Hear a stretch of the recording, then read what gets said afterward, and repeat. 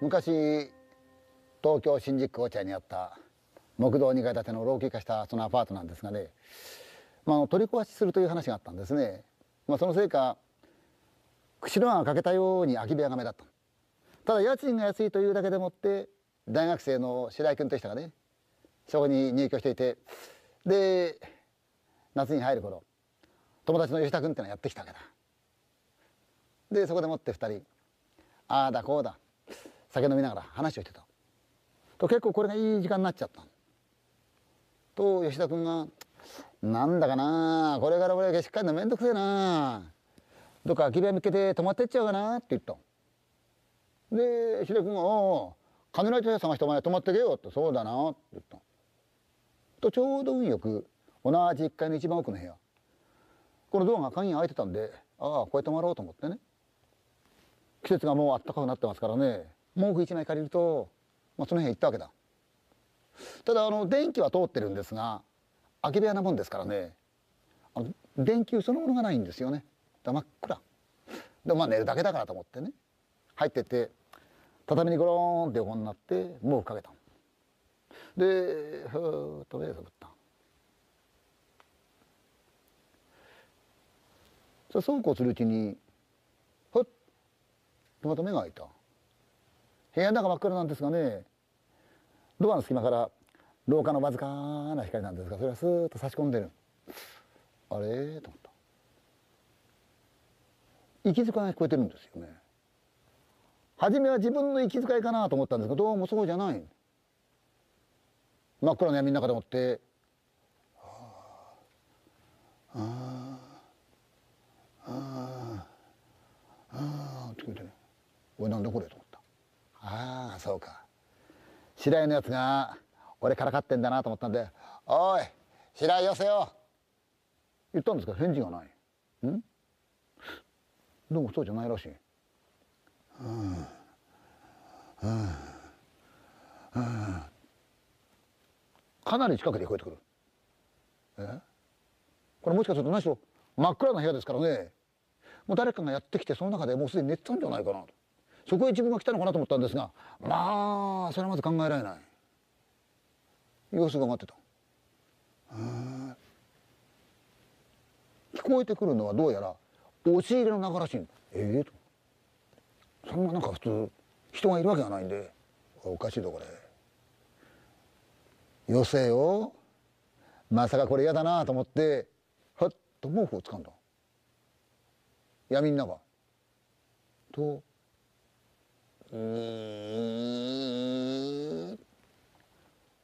お尻が開いていく音がしたもんですからもうびっくりしてね。毛布抱えてそっ飛び出しちゃったで二つ向こうの白井君の部屋戻ってきて「おいおいおい」うんどうしたんだよおい。あのな一番奥の部屋だけどなあそこおかしいぞおい。あれ誰かいるぞまあ、あのここはどういうアパートかというと下に4部屋。2階に4部屋あるわけだ。で部屋の作りは全くみんな同じなんですよね。ドアを開けて入るとそこに半畳ほどの板のスペースがあってここにまあ流し台とガス台がある。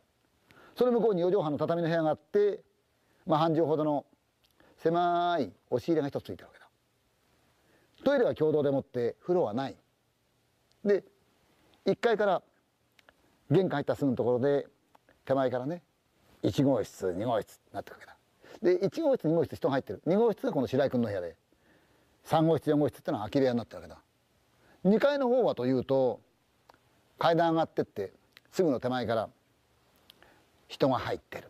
人が入ってない。人が入ってる。人が入ってるこう入れ地に人が入ったわけですよね、まあ、こんな状況なんですがね。それでまあこんなことがあってから一月ほどだったわけだ。夏真っ盛り。当時のことですからね。扇風機なんて気の利いたもんはね貧しい学生持ってませんから。ちょっと部屋入るとちょうど正面突き当たりがこうガラス窓なんでそれ全部開け放ってね。で入り口のとこ開けちゃうわけだ。と風がスーッと流れていくわけですよね。奥の2部屋というのはこれ空き部屋ですからね。廊下誰も通らない。だからドア開けたままにしといても構わないわけだ。で2人が例によって安酒飲んであれこれ喋った。ああだこうだ言ってるとふうに「うんドン」んドアの閉まる音がしたんで吉田君が「おい今奥でドア閉まったよな」って言った。と白井君が「ああ風持って勝手にドアが開いたり閉まったりしてんだろう」って言うと吉田君が「開け部屋みんな窓閉まってるから風入ってこねえだろう」って言った。でまたしばらく話をしていると「にードアが開いたんだよ今開いたよな」って言いながらね吉田君が腹ばいになってスーッとそのまんま入り口ドアが開いたまんまになってますからそこからひょいってこう顔出して奥の方じーっとこう見てるわけだ。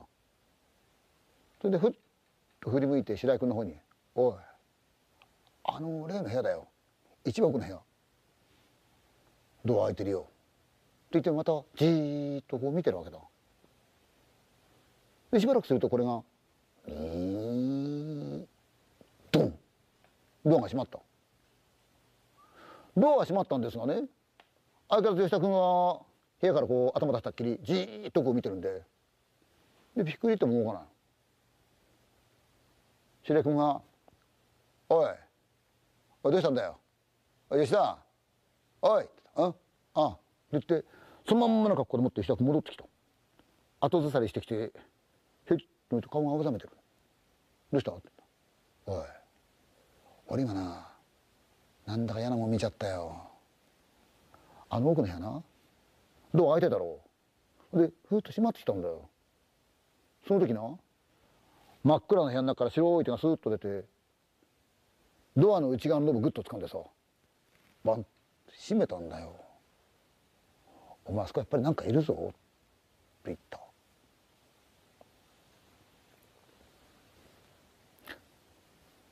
だそんなことがあってからまた一つ京都だったわけだ。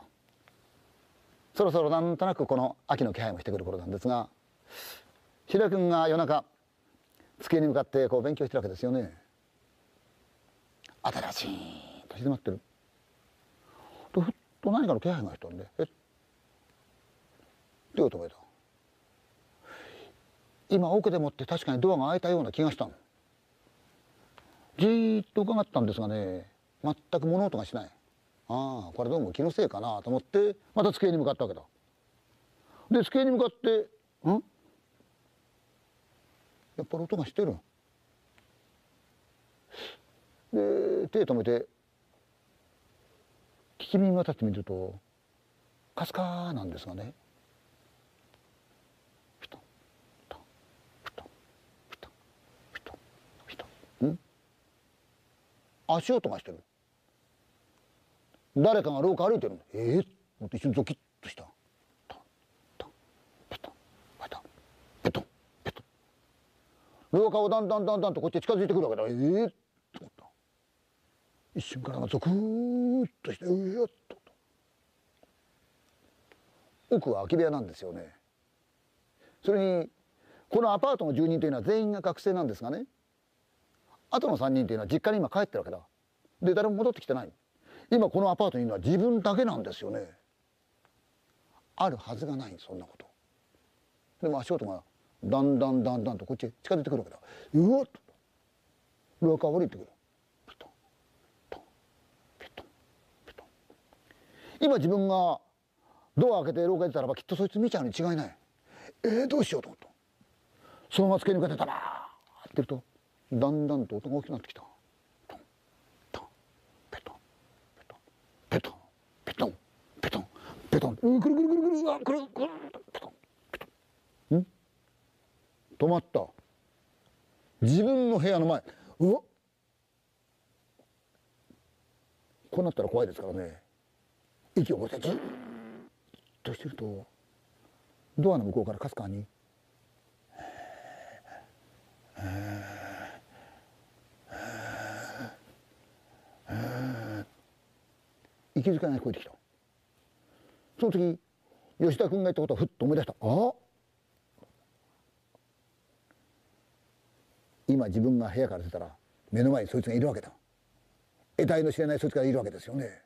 うわーと思いながらどうやら向こうはこの部屋の中の様子を伺ってんのかなと思ったら怖くなってきた「うやめてくれよ勘弁してくれよ」とずっとしてるうちに「おいまさか入ってくるんじゃないだろうなと思ったらもう怖くなってきたんで「お願いします行ってくださいお願いします。お願いします行ってくださいお願いします。お願いします助けてくださいお願いします」一生懸命なって祈ったわけだでじーっとしてる。体中から冷えたんですがプーッときたした背中をスーッと汗が流れていく。うーと思ってそのうちピタントンピタントントントントン足音が遠ざかってた。行った。行った。あー助かった。よかった行った。と思った途端その正体が見たくなった。怖いには怖いんですがね好奇心がある。で好奇心には勝てないもんですからドアのとこ行ってみた。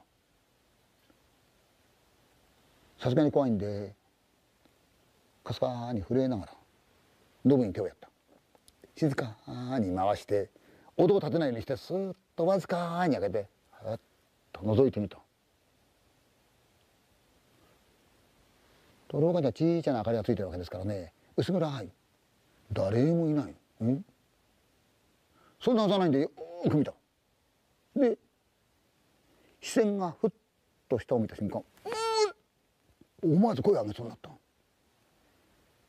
小さな明かりがついた暗い廊下の黒い板の上を白い足だけが音を立ててピトントンピトンピトンピトンピトン歩いていった。平君すぐにこのアパートを引き払ったそうですがね、まあ、時が経ってこの地域はね、まあ、だんだんと老朽化した家が空き家になってって取り壊されたでその後に道路が拡張されたりビルが建ったり、まあ、駐車場ができたりしたんですがねその工事の最中に地中からねいくつもの古い人骨が出たそうですよ。ああそれはおそらくもしかすると戦時中の仮埋葬した骨なのか何組寺か何かがあってその骨なのか定かではないんですがね多分あのアパートの足それもそういったもんだろうという話なんですがね。時代はちょうど大阪万博なんてありましてね。日本の高度成長がそろそろ終わりを告げる。そんな時代の話なんですがね。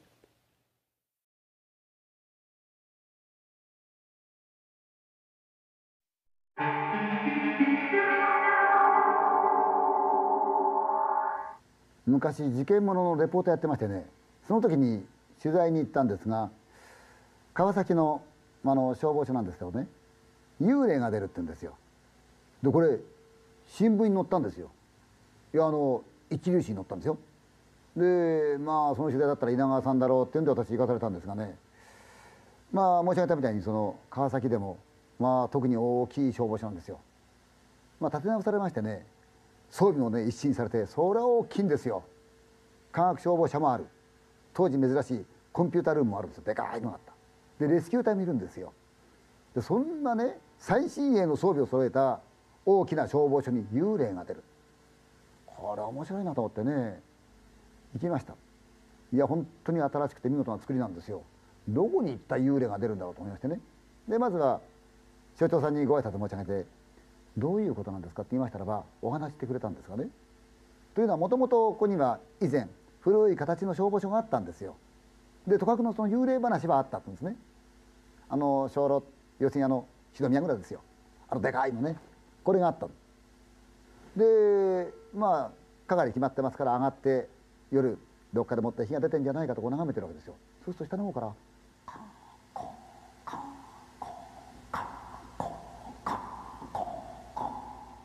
誰かが上がってくるんだあれ交代にして早いなまあいいやでも変わってくれるならこんな楽なことはないからと思って待ってると誰も上がってこない。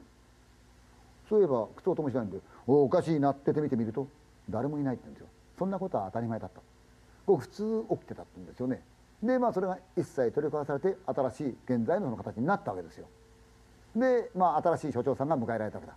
要するに私たちがあったそのご本人なんですがね。で所長さん早速各部署に顔出し行ったわけだ。でずっと回って歩いて建物の一番端ここはっていうとレスキューの隊員さんの仮眠所なんですよね。二段ベッドがあるんですよ。ずっと。私も見せてもらいましたけどね。でご一緒しましたら所長さんが「稲川さん不思議なんですがね私来ました」そしたらねこの床だとかねそこだとかにねあちこちにコップに水が入って置いてあった。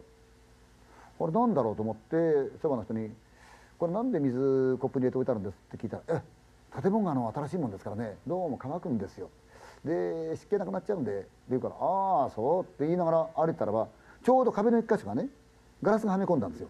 外が見えるんですよそれ。コンクリートの要するに地べたが見えてる。そこに稲川さんコップに水が入って置いてあるんですよ。おかしいでしょ？部屋ならわかるけど部屋の中じゃなくて部屋の外にあるっていうのは納得いかないでしょ。であれはって聞いたら「いやー」って言って答えてくれない。おかしいなこれ何かあるなと思ったってんですよね。でもちろん所長さんのお休みになれる部屋もあるんですがどうも気になったんですね。で寝てみたって言うんですよ所長さんが。一人コロンって横になった。もう夜暗い時間ですからね。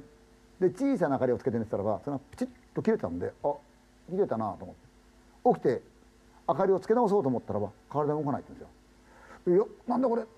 金縛りなんですよね。うわえたわらないねと思った。所長さんが寝ているところっていうのはその要するにガラスの窓。これはめ殺しといって開かんない窓なんですかね。そのガラスがはめてある壁側の一番端でもって要するに二段ベッドの下だったんですね。うわ動かねうーと思った時に何かがスッと動いたんであれ？窓の外を誰か歩いたなと思ったんですよ。それで「えー」って言った窓の外じゃないんですよ稲川さん。壁とベッドの間に男が立ってたって言うんですよね。それが上半身裸なんでたくましい体してるんですけど「えー」って見たら「稲川さんそれね頭が乗ってないんですよその男」って言うんですよ。瞬間にこれ人間じゃねえ。生きてる人間こんなのいるわけないからってすぐ分かったんだけど稲川さんそれがね歩いていくんだって言うんですよ。およせよと思ってるんだけど声も出ない。呼ぼうと思ってもどうすることもできないで見ていたらば今度は稲川さんね時代劇みたいなね鳥追い姿の女がね歩いていくんですよ。いやこれ嘘じゃないんですよって所長さん真面目に言うんですよ。でまあ一旦引き上げたんですがどうもそれだけ納得いかないんで言ったらあれ何があったんだろうと思ってね。でまた再びやっぱり度胸があるというかな肝っ玉座ってるんですね。また一人で泊まってみたんですよ。その時はなんだかうなされたんですよね。ぐわーってうわーと。やがて目が開いた。汗びっしょり書いてんですよ稲川さん。何かがいるんだ。何かがいるんだけど何かわからないと思ったらば自分の足先の方ベッドの下がなんかムーッと盛り上がってくるんです。だんだんだんだん何かが。何が盛り上がるんだろうと思いながら恐る恐るじーっと見たらね頭の形になってだんだん肩が見えてきてそいつがニューッと手伸ばしてね自分にのしかかってきたんでこいつやられるだめなと思ったって言うんですよね。でふっと瞬間消えた消えてくれたなと思ったらもそって横が動いたって言うんですよ。なんだろうと思って。気が付いてみると自分のこの腕のとこになんかねずっと当たってるもんがあるんだって。寝てるのは自分一人なんですよ。なんだろう。妙な感触があるとこれ動いてるって言うんですよ。そしたらですねグワンって回ったら男が寝てたって言うんですよ。これはもう絶対間違いないなと思ってレスキーの方々呼んでね。みんな何かおかしいこと起きたりしないか？何かあるなら言ってくれないかって。いやみんな何もありません。何もありませんって言うからいやいや隠すなよと。みんなの仕事というのは命がけの仕事だと。仮眠室でもってちゃんと休めなかったらばどういうことが起こるかわからないし事故にこれつながるから私は責任があるからこれはっきり言ってくれもしかすると出るんじゃないのかって言ったら「はあ実は」って一人が言ったら他の人も「はあ」みんなそうですよ。見たらね一人の隊員はここにちゃんと数珠をね首に下げたって言うんですよ。それ何だった？ら「ええ実は」聞いたらみんな幽霊を見てるって言うんですよ。こいつはいけないなと。こんな近代装備のねこれだけ立派な消防署でも幽霊騒ぎったらどうもこれされにならないからということで早速お坊さん呼んできたって言うんですよね。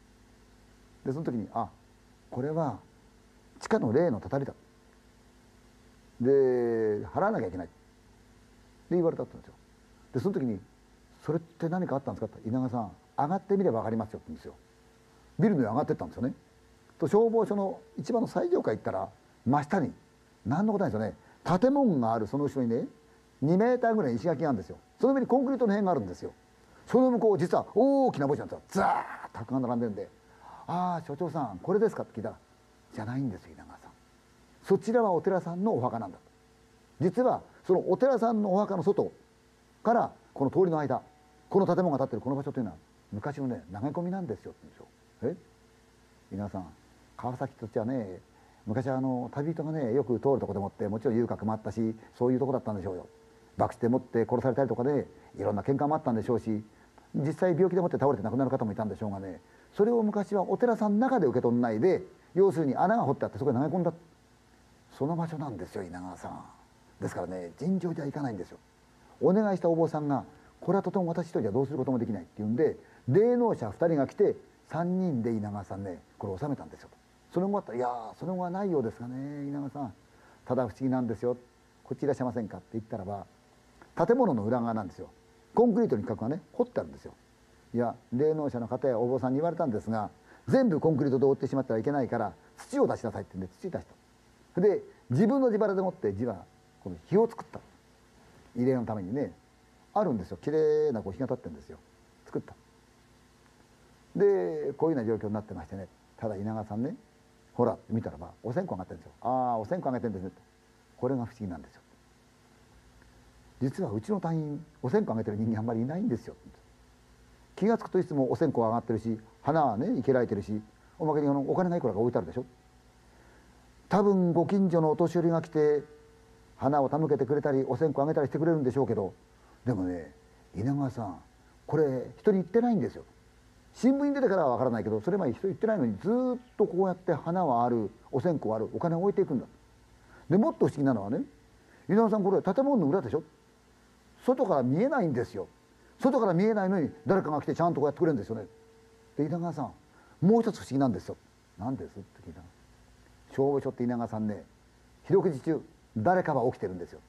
それもこう大きいですからね。一人されじゃないんですよ。でも誰もがみんな起きてたとしても誰が一体花を持ってくるのか誰が一体お線香あげるのか見た人間が一人もいないんですよね。不思議ですよねって言ってましたね。これ実際テレビでも放映されましたし新聞にも載った話なんですよね。この現代にそんな不思議があるんですよね。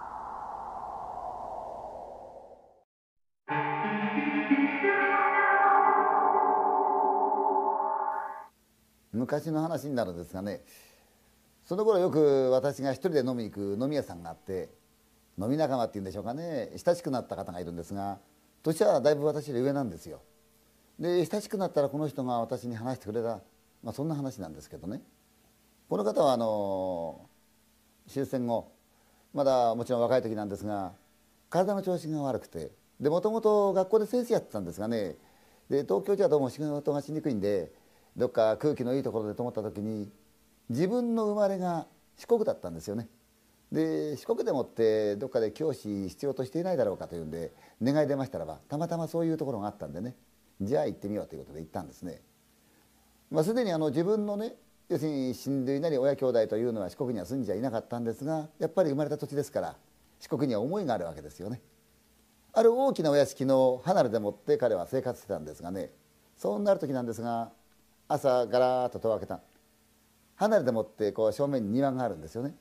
その向こうに垣根があって何気なくポーッと見てるとちょうど朝の出勤時なんですね。人が何人かパラパラこう歩いていくんですよ。その中に髪の長い綺麗な若い女性がいたんで「ほうこっちにもこんな綺麗な人がいるんだな」と思ってこう眺めてた。なぜかそれが楽しみになったんですね。朝になってガラガラっと開ける。花々の庭越しにこう見ているとちょうど垣根の向こうまた彼女が通っていく。見ているうちにだんだんだんだんとこの情というんでしょうかね彼女が好きになってきたんですね。その頃彼もだいぶ体の調子も良くなってたんでまあすっかり元気な状況ではあったんですがね。いつか話をしてみたいなチャンスはないかなって見ているうちに不思議なもんですね。彼女の方もいつも見ているその自分のことで分かったんですね。ふっと目があってこう会釈をするようになった。ああこれは閉めたもんだなと。で今度は庭へ出て待ってよと思って庭で待ってたそうですよ。ちょうどいい具合に彼女が来たんで「おはよう」って言って向こうも「おはようございます」そんなことから2人がね垣根越しにまあ一言二言の会話なんですが話ができるようになったんで非常に嬉しかった。こういった楽しいなと。まあそんなことがあってだんだんとお話をするようになってくると、まあ、近くのですね、まあ、いいとこのお嬢さんだってこと分かったんですね。そんなある日なんですがね彼が夜遅くに、まあ、たまたま学校のその仕事が残っていたんで部屋でもってぼつぼつと仕事やったんですね。辺りはシーンと静まってるんですがそんな中をカロンカロンカロンカロンカロンカロンカロンカロン下駄の音がだんだんだんだんと自分のこの離れの部屋に近づいてくるはてなどうやらこれ離れに向かってるぞこっちへ向かってこの下駄の音がしてる。誰か来るのかなと思って。カランカランカランカランカラン。うん？仕事をしている自分の離れ。障子が閉まってるんですがその向こうで下駄の音が止まったんで。えー、誰だろうこんな自分と思ってると障子越しに「こんばんは」若い女の声がしたんだ。あら？と思ってね。立ち上がってさっと開けてみるとそこに例のあの美しい彼女がですね立ってるんですよ。こんな夜も遅い時間にどうしたんだろうと思ったらニコッと笑ったんでまあまあまあまあ拝んでせなん。だ上がったんだ。これは嬉しいですからね。話がだんだんだんだん盛り上がってってだんだんといい雰囲気になってその夜に2人はこう結ばれたわけですね。これは嬉しかった。彼はもうこれはもう頑張って俺は彼女と絶対結婚するんだと。そう思い込んだんですよね。彼女はその夜遅い中帰るって言うんで「上羅送るよ」って言ったらばいいっていう。一人でもって暗い闇の中カランカランカランコンカラン。下駄の音を残しながら帰ってったんですよ。翌朝早く抜くてガラッと開けて待ってると彼女が通りかかったんで「いやおはよう」って向こうもニコッとあって「おはよう」昨日のことがあるもんですから「いやどうも昨日は」っていうようなこと言ったら向こうが「えっ?」ていうようなこと言っちゃったまあ昨日の今日だけど照れがあるのかなと思ってたんですね。ところがそれが何回かして会ってるんだけどどうも様子がおかしいんだ。おかしいなやっぱり夜訪ねてくるぐらいなんだからもうちょっと自分に対してこう何らかのこの親しさというかもっとこの身近な感じがっていうのによそよそしいよなと思ってたんですがふっと夜にそうだ。今度は自分から訪ねてみようと思ったんですね。それで夜遅くにこっそり家を抜け出て彼女の家へ行ってみた。後からこう伺ってるとうっすら明かりがついてる部屋があるんでそばへ行ってみるとね下駄が2つポンと脱いであった。間違いないこれ彼女の下駄なんであれそうだなここが彼女の部屋なんだなと思ってスーッと開けてみた。と確かに彼女がいるんで「こんばんは」って言ったら向こうがニコッとこう笑ったんですよ。どうやら分かって待ったらしいんですね。早い話が昔の予売というやつなんですよね。で部屋へ入ったわけだ。であれこれと時間が経って彼は帰ってきた。で翌日も楽しみですから朝戸を開けてますと。彼女が取りかかったんで「いやおはよう」って言うと向こうも「おはよう」随分なんだかつらつらしいなあと思いつつ次の日とうとう彼女のところへ行って「いやこの間はどうも」ってお話したら彼女がきょとんとしてるんで「うん？いやあんたね」って話したんだけど向こうは全然覚えてない。そんなバカなことはないんでね。どうも話が食い違う。そのうちに彼女が「ちょっと待ってくれ」誠に申し訳ないけど実はそういう覚えが全くないんだけれどもそれがあなたが言ってることがもし本当だったらばそれは私じゃありませんけれど多分私の姉だと思う」って言った「え？じゃあ私は間違えてあなたのお姉さんと」って言った「ええ。私には双子の姉がいるんだ」ああでもそのお姉さん子供の時に亡くなってるんですって。何をバカなこと言うんだろうと思って。それあんた私を騙してるんだろうと。からかってんじゃないかって言ったらばその彼女が真面目な顔をしてね。申し訳ないんだけどもあなたのところへ訪ねて行った私のお姉さんが履いてったその下駄ご覧になりましたか?」って言ったんで「え？多分それ赤いポックリじゃなかったですか?」って言われたんで。ふっと思い出した。そう自分は下駄だ下駄だと思ったんですが彼女のところへ訪ねてきた時のその彼女が履いていたそれ今はっきり思い出す。赤い小さなポックリだったんですよ。彼女が。それ確か子供の履く小さな赤いポックリじゃありませんかって言われた瞬間にゾーッとしたって言うんですよね。うちの姉はねなぜか知らないけれど私に親しい人ができると必ずそこへ訪ねていくでもその時いつもなぜか赤いポックリを履いていくんですよ。姉が亡くなったのはまだ小さい時でしたからね。って言ったっていうんですよね。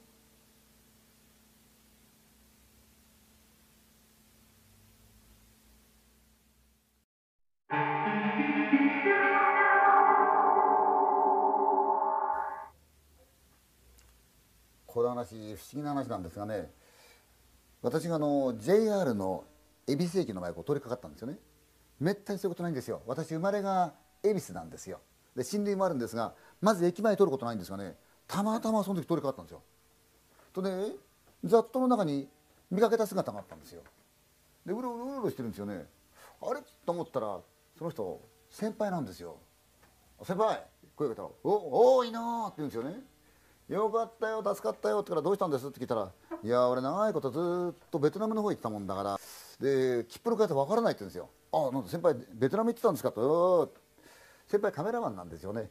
長いこと日本にいないもんだからあまり日本が変わっちゃったもんで切符が買えないって言うんですよ。で笑いましてね。買ってあげようと思ったらばこっちも分かんないんですよ。なんだお前もかって言ったんですが結果的に切符が買えたんで渡したんですよ。じゃあどうもありがとう。って、まあ、そのうちってんで別れたんですよね。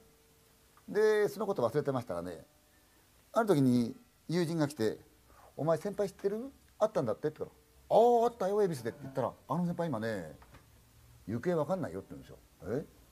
いや実は俺の話聞いてくれる?」って言うんですよそれからなんだ？って言うんですよわからなくなったのがねどういうことかというとこの先輩は非常にこのカメラが好きでまあ写真家になった人なんですが高校生の頃ねしょっちゅうこうカメラ持ってあちこち駆けつり待ってた。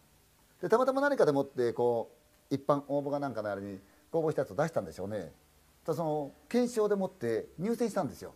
それが嬉しくてカメラ持っちゃあちこち出かけてた。で学生自分にやっぱり例によってカメラ引き下げて街をねあちこちテーマを探して歩いてる時に突然すごいゴソーンって音がした。うんと思ったらみんな「おい大変だ事故だ」って走っていく「お事故だ」すぐさま走ってってみるともう人が集まってる。かけずに待ってる。救急車やめよ大丈夫かこうしろあしろ。みんな助けようと思って必死になってる。と向こうの方に男がパタッと倒れてるんですがもうすでにね地べたにこう血がスーッと流れた。これだと思ったんでカメラ持ってタッタッタッタッって寄ってった。それでふっと向けた。男はまた息にあって多少こう動いてるんですが血が流れてるし随分あんまりいいような状況じゃないんですね。ぐーっとカメラ近づいたらば男が苦しそうにぐーっと振り見て口を開けたんですね。多分助けてって言ったんだと思うんですがそこをカシャッと取った。後ろの方ではみんな駆けずり回ってる。救急車だ助けろよおい誰か毛布持ってないかって。騒いでるんですが彼はなおまたぐっとカメラつけたと男はこっちをじーっと眺めた。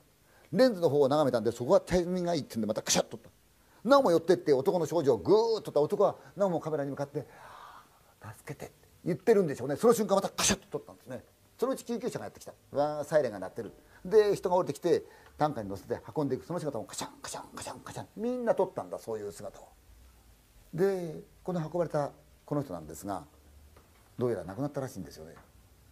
でこの写真を彼がねある写真のコンテストに出したんですよ。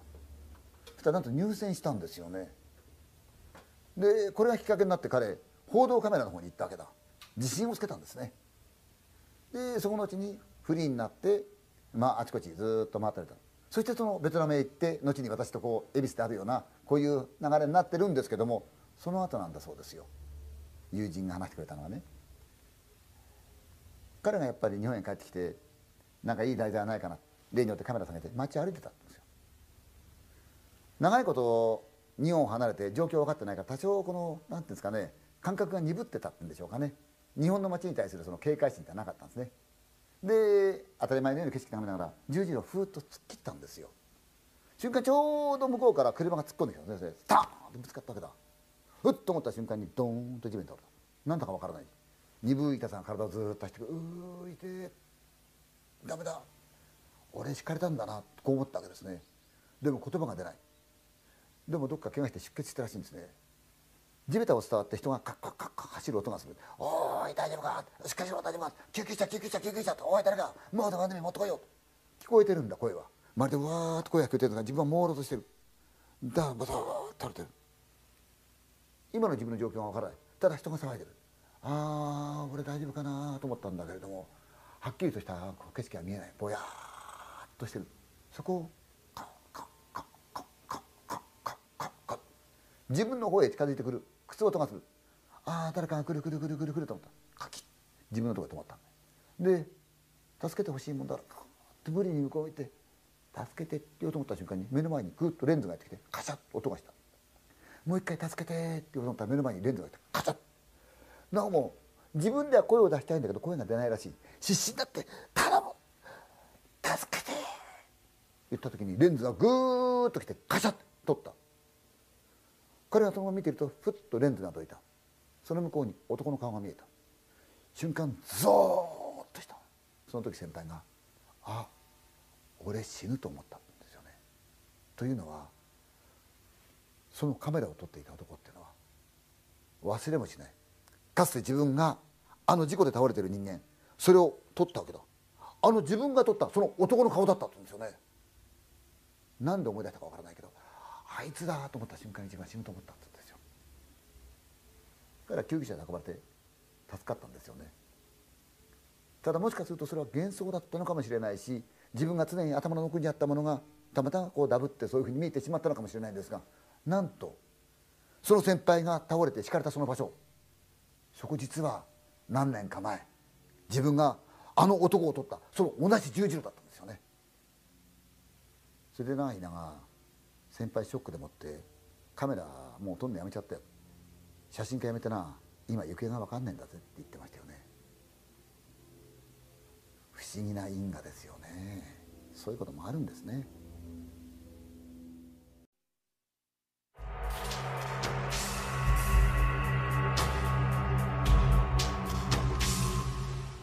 私がね、まあ、幼い頃なんだけどって言っても小学生ぐらいかな。おばあちゃんが浮かない顔してるんですよ。何かなと思った。ああそうか。仲のいいおばあちゃん亡くなったんですよね。内田さんという品のいいおばあちゃん。それでショックなんだろうなと思って子供ながら思ったんですよね。ってのはうちから少し行くとお屋敷町なんですこの辺り。内田さんのおばあちゃんここにあの暮らしてらっしゃる人で品のいいおばあちゃんでね。でうちへも遊び来るしうちのそのおばあちゃんも遊び行くわけだ。ところがこの内田さんのおばあちゃん亡くなっちゃった。まあ寂しいわけなんですね。ああそれで元気がないんだなと思ったんですよ。そして気が過ぎてった。そんなある日なんですが、まあ、昔ですから人が来ちゃお茶飲むわけですうちでもって。で話をしてる。その時おばあちゃんが不意にねもう我慢できないから話してまおうかねって言ったんですよ。でみんな何だろうと思った。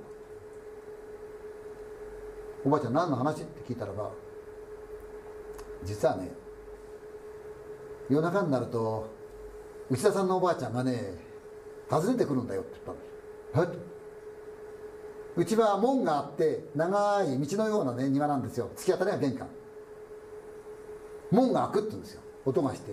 で草履の足音がするんですよ。ピタピタピタピタで玄関に止まって「ごめんください」って言うんだそうですよ。でおばあちゃん起き上がってってカチッと明かりをつける玄関の明かりをつけると昔の玄関ですから曇りガラスと思って格子なんだな。ふとそこに立ってる姿が見えるんだそうですよ。内田さんのおばあちゃんだったんですね。開けてあげたいんだけど開けたら私連れて行かれちゃうから開けないんだ会いたい気持ちはあるんだけどねって言うんですよ。でもいつも来るんだそうですよ。で玄関越しに話をすると帰っていくんだそうですよ。で毎日来るんだそうです。どうしよう。開けてしまったら連れて行かれちゃうし人に話したらもう来なくなっちゃうしどうしようと思ったんだけどもうこれ以上無理だから。で話してしまうんだって話したんですよね。何日かしてね私聞いたんですよ。おばあちゃん三田さんのおばあちゃん今も来るのって聞いたらおばあちゃんがねいやもう来なくなったねって言ってましたね、えー、こんなことありましたよ。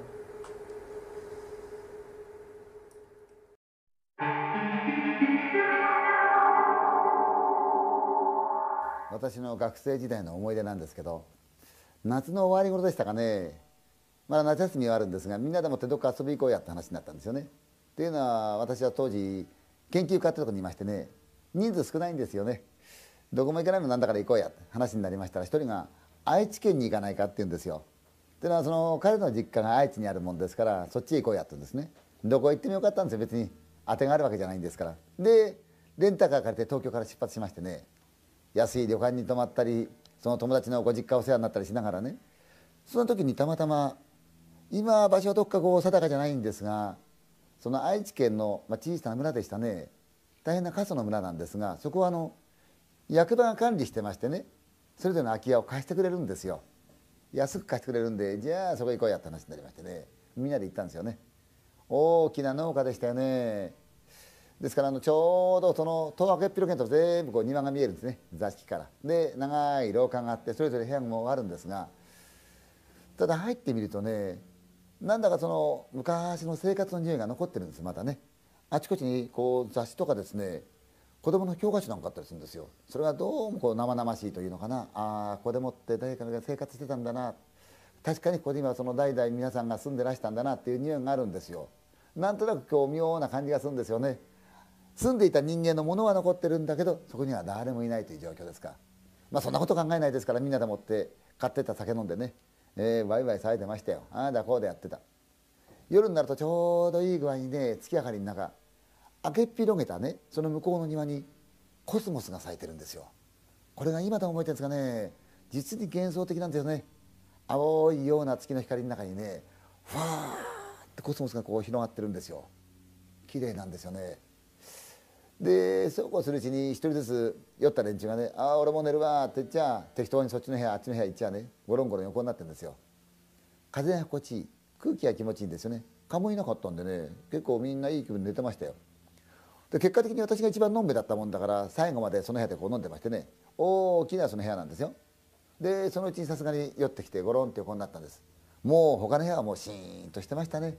みんな寝てたんでしょうね。時間はどのぐらい経ったのかわからないんですがね。不意にトットットットットッと。子供の走るような足音がするんですよ。うんと思ってましたね。トントントントントンってガラットンパタンとがいてしまうと思うんです向こうの方で。へえとこれまたトットットットッガラットットットッガラッパタントントットットットなんだかこの座敷の中を子供が駆けずり回ってるんですよ。えー、へーこんな時間に子供がなんで座敷駆けずり回ってやんなと思ったらまたトットットットットットだんだんだんだんこっちのに近づいてくるんですよね。でガラットントントントントントントントンと音がしたんでうんうんうんと思ったら私のすぐ横の質問がガラッと開いたんですよまだぐっすり寝てるわけじゃないからぼーっとこう見たんですよねでストンと閉まったんですよと次にねトントントントントントントントン私の周りをちょうどこのね子供が走るような感じでもっていい具合にトットットット足音してるんですよ。それ聞いてるんですよ。立ち止まるんです。ただ足音はしてるんだけど姿が見えない。なのに不思議なことに姿は目では見えないんですが頭でわかるんですよ大体。ああちいちゃなこのような子供だな。白っぽいシャツ着てましてね。そうですね。幼稚園か小学校1年ぐらいの男の子かな。それを走ってるんですよ。でトットットットットッとふっと止まるんですこれ。足音がこうやって見てると姿は見えてないんです。目ではね。頭で分かってるんですよ。私の方をじーっとこうやって見てるんですよ。怖くないんですよそれ全然。それが34回くるくるくるくる私の周りを回ってね。でトットットットットットットッ向こう行っちゃったの。こう目で追ってましたらねしゃがんだんですよ。それも目で見えてんじゃない。頭の中に浮かんでるんですよ。ちいちゃな男の子が床柱のとこしゃがみ込んだんですよ。何か書いてるんですかって。絵のようなもの。でそのうちにまたトットットットッと先頭来てちらっとこう私を見てねまたバタンと戸を開けてトットットットッ出てっちゃったんですよ。ああ子供が行ったなと思って。見るとまだこうコスモスがうっすらーって明かりの中こう見えてるんですよ。幻想的な世界。夢だか現実だかわからないんですよね。ふーっとした。眩しくなって目が開いたらもう朝なんですよ。みんなも来てたんでね「おいおいおいいや昨日飲んだな」って話になったら誰かが「ダメだよ夜中に子供が走り回ってうるさかったよ」って言うんですよ「どうそうだ子供昨日走ってたなうるさかったな」って。こっちも何気なく言ったんだ。そしたらお前の違う何だよそれって言うから「いやいやほら子供がさ夜中走ってたろ」って言ったんですえ？ー、そんなわけないだろお前。こう子供なんかいないんだから。空き家だろ？俺たちしかいないぞ。よその子供が来て走り回ったかって。いやいやそうじゃないんだよ。面白いですよね。足音を聞いた人間何人かと聞かない人間何人かいるんですよ。でも聞いた人間はみんな子供が走ってたって言うんですよ。走ってたよね。当たり前のように言うんです。で私が「ああじゃあ来てごらんよ」私の部屋来てごらんって言って呼んで行ったのほら確かに走り回った時あの子供がねあの辺りしゃがんで絵描いたんだよねって言ったらみんなが「ええー、床柱行ったんですよね。床柱の一番下にクレヨンで描いた絵がねちゃんとあったんですよ。子供が絵描いてるんですねちゃんとね。不思議でしたね。怖くも何ともないんだけどなんだか懐かしい感じがしてね。帰りの車で友達が「そうか過疎の村になってみんな都会行っちゃったんだな」多分亡くなったその子供ってのはそんなこと分からないで夜になると家へ帰ってきて遊んでるんだねたった一人で。なんかかわいそうだな。コスモスの咲く庭があって月明かりがあってさ暗い家の中でもって子供が一人部屋の中駆けずり回ってるのってなんだかそんな気するよなって言った時私もねそんな気しましたよね。なんか懐かしいような思い出の中にね。この話がずっと残ってるんですよ。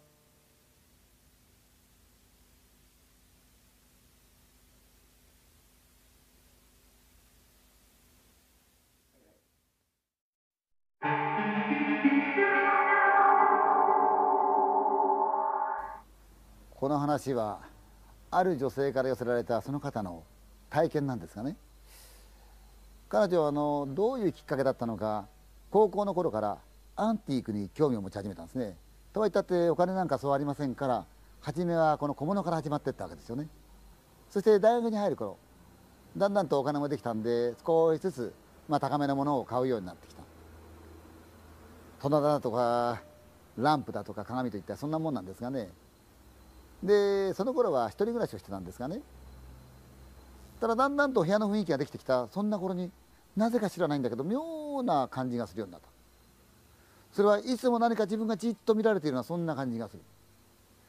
ある日気が付いてみるとそれはどうも自分が部屋にいる時にそういう感じがする。誰かがじっと自分を見てる。そんなことが続いてそれからしばらくするとね自分がゴローンと床に横になってると頭にふわっとこう状況が浮かぶんですがそれがなんと自分がゴローンと横になってるその後ろ姿がはっきりと見える。えー、なんだろう。自分が机に向かっていると机に向かっている自分の姿そのまんまその状況が後ろからふっと見える。まるで自分が幽体離脱でもしたようにもう一人の自分がまるでもう一人の自分を見ているようなそんな感じがする。これなんだろう。でいつもなんか知らないけれどもじっと誰かに見られているそんな感じがする。これが日を追ってだんだんだんだんだんだんだんだん強くなるなんか怖くなってきた誰なんだろう私を見てるのは絶対誰かが私を見てるに違いない私はいつも誰かに見られてるんだそんな感じがしてたんですねそんなある時なんですが机に向かって多少のこの勉強もしてたんですがうつらーっとし始めた。それによって頭の中にもやっとその状況そのままの自分の後ろ姿がふーっと浮かんできた。そう間違いなく今自分がしているその格好後ろから見たそういう状況なんですよね。えー、ふっとねなんだかすごく気持ち悪い。やたら強い視線を感じるんでなんだろう気持ち悪いなと思ってふっと見たらちょうど窓がね閉まってはいるんですが外はこう暗闇になってる。カーテンが開いてるんですよ。部屋には明かりがついてますからあいけない。外から見えちゃうなと思って何気なく立ち上がった。でカーテンを閉めようと窓へたっとっとっと近づいていくと外の暗闇なもんですから室内がふーっとそこに映り込んでる。さあ閉めなくちゃと思った瞬間ふっと思った。自分が今窓を見てカーテンを閉めようとした時に室内にある鏡が見えた。その鏡に自分がちらっと映ってるのが分かったんだけどおかしい。というのは鏡に映ってる自分こっちを見てるんですよ。そんなはずはないんで鏡は自分の後ろですから映ってるのは自分の後ろ姿のはずなのになぜかこっちを見てる。えー、嘘だ。そう思って恐るする。体はそのままにしてゆっくりと後ろにこう顔を持ってってみたそれで部屋の隅にある鏡の方をふっと見た瞬間に「ん？鏡の中からこっちを見てる。もちろん自分も鏡を見てるんですがそれがおかしい。何がおかしいか。顔は向こうを向いてるんですが彼女の体は背中を向けてるんですよ。でも鏡の中の彼女は全く全身で正面を見てたそうですよ。自分を見ていたのは鏡の中の自分だったって言うんですよね。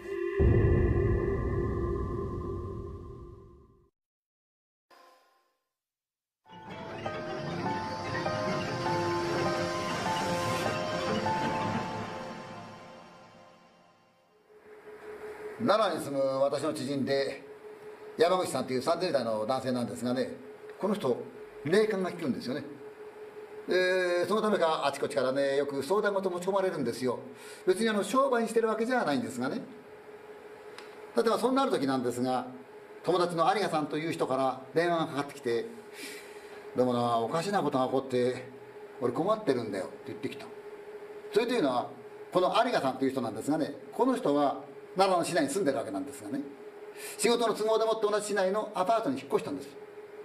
それは引っ越して間もなくなんですが全く面識のない若い女がやってきて「すいませんが自分宛の郵送物が手違いがあってこちらに郵送されてしまったんで預かっておいていただけませんか?」って言ってきた。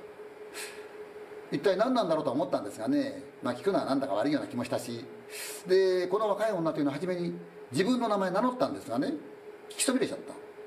名前と連絡先聞こうかなと思ったんですが相手が若い女ですからね、まあ、気が引けたんで引かなかった、まあ、どうせ郵送物が届けばね名前分かりますからね。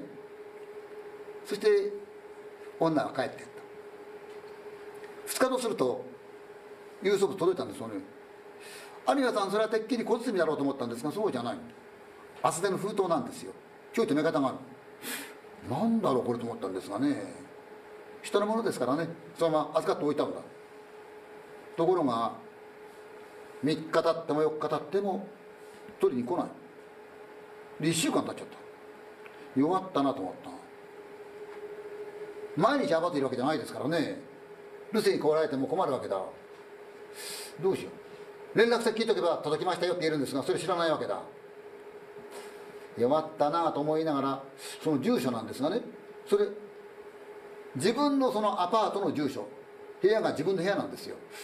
でそれも外国から本人が自分に当てて送ったもんなんですね。もしかするとこの女以前この部屋にいた女じゃないかな。とだったら大家さんの引きはなんか分かるかもしれない。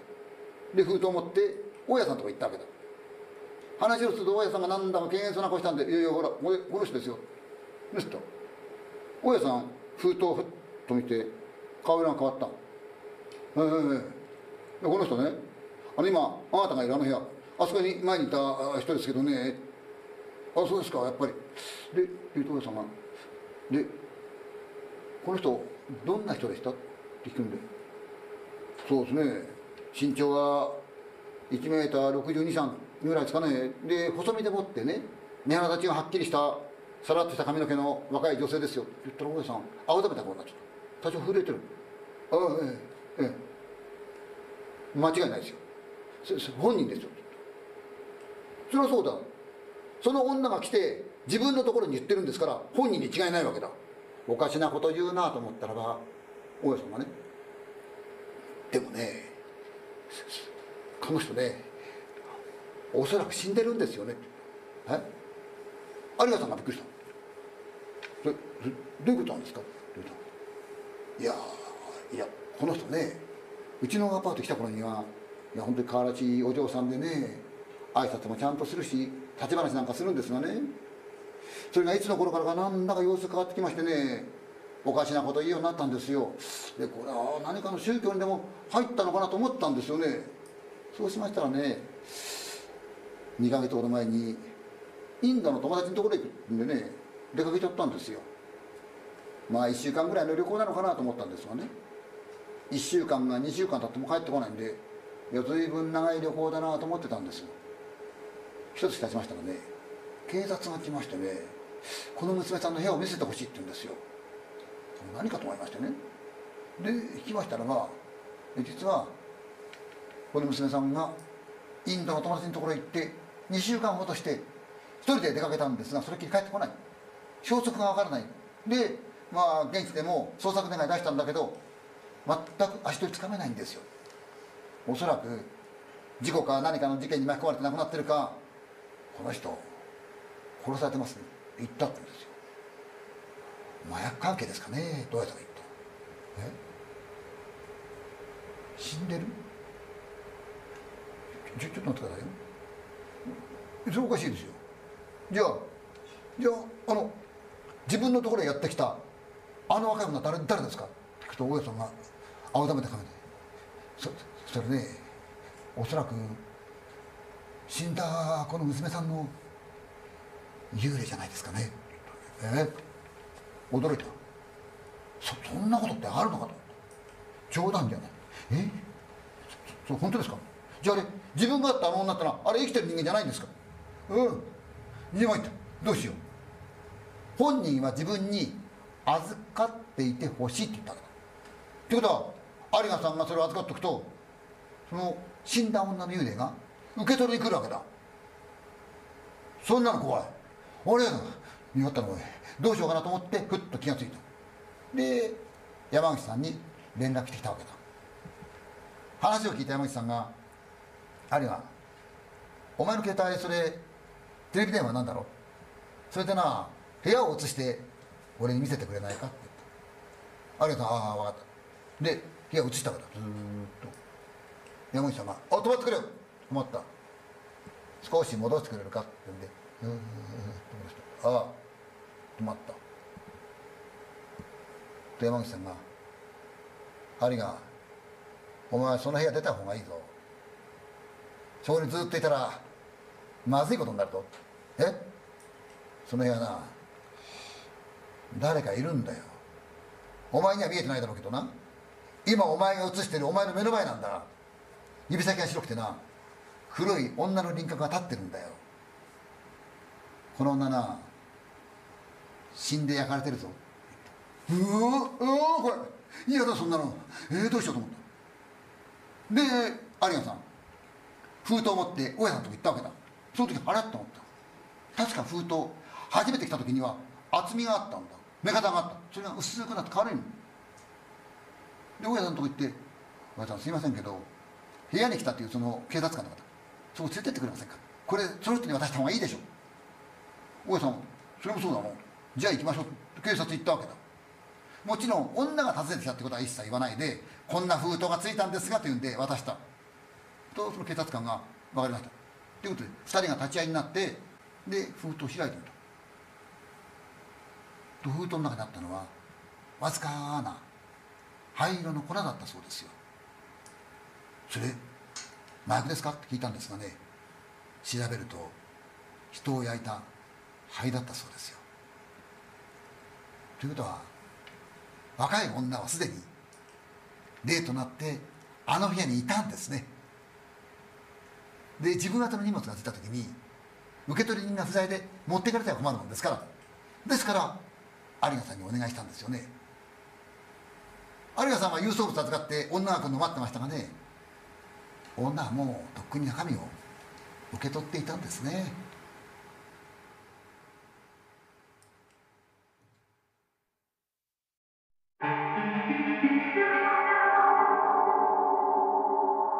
私が長いことやってる朝の番組、まあ、終わりましたんですがねそれがありまして当初は私あの事件などのレポーターというのをやってたんですよね。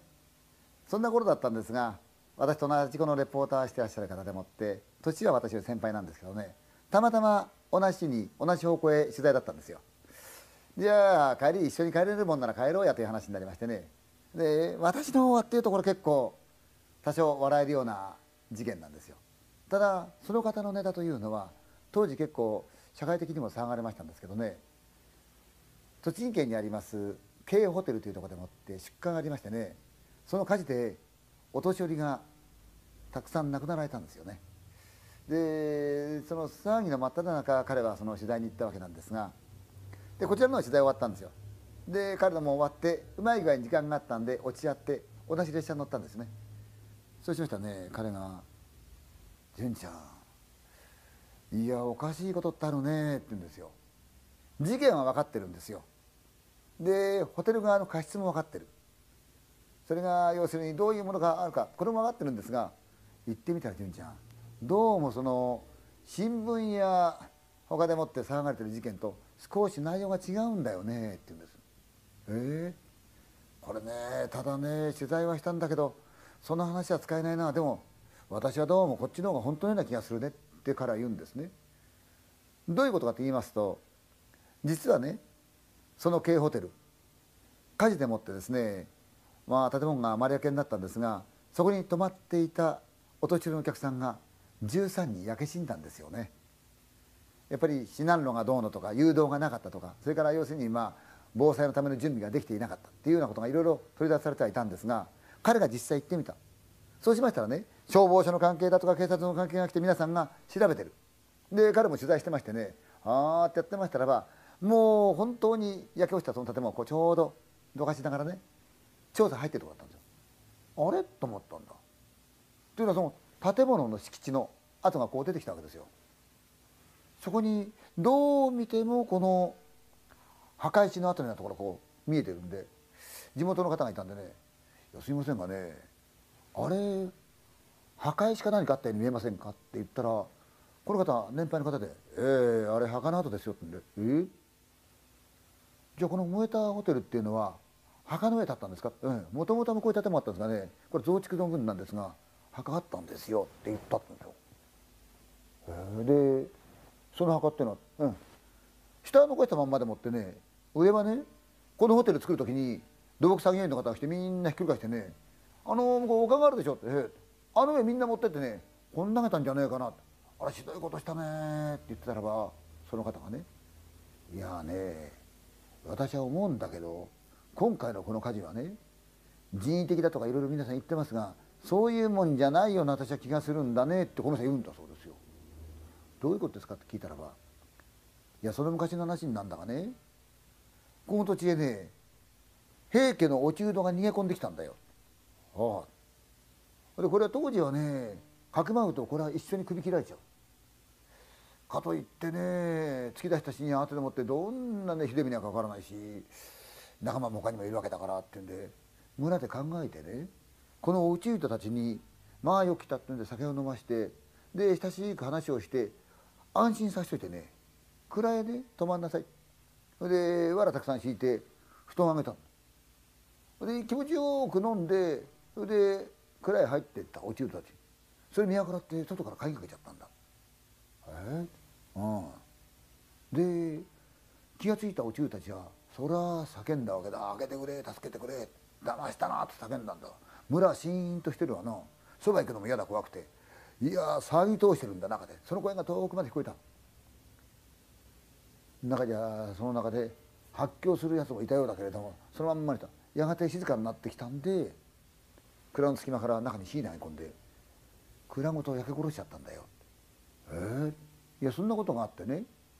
ところがその時に焼けた蔵の中からどうして開けたか知らないけど白猫が飛び出てきて体中にね火がついてさ燃えたまんまでもって村中駆けずり回ったもんだから他の家まで燃えたっていう話があるんだ。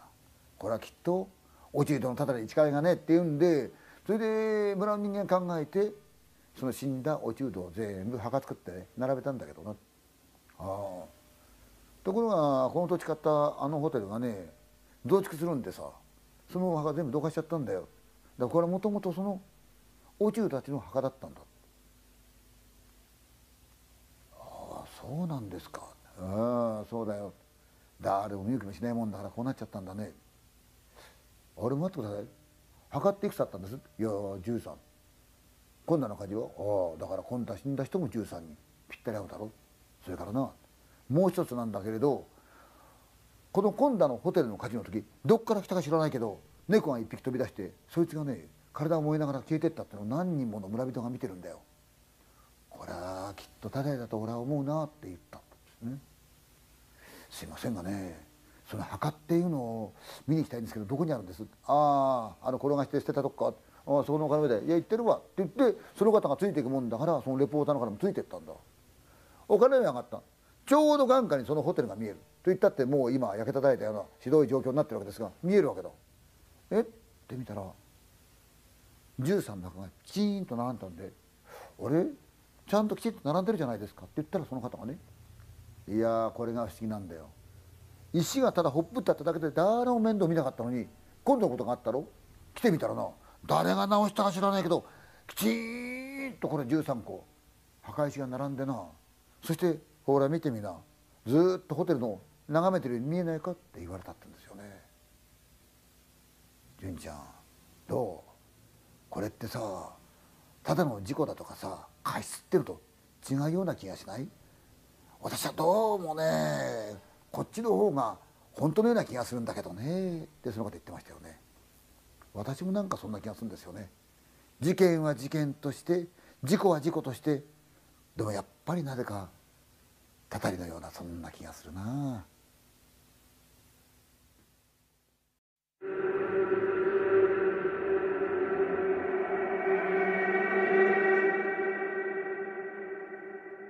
東京麹町にありますね N テレビ。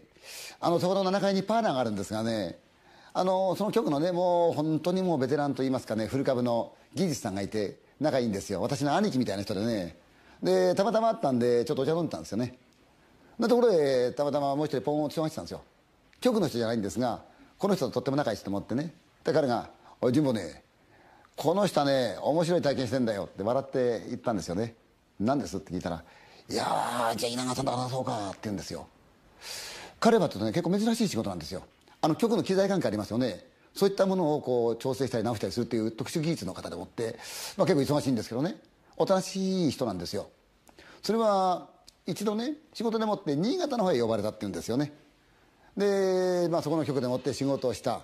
で帰りしないねたまたま立ち寄ったところでもってどういうわけだがその兜を見つかったと。鎧兜。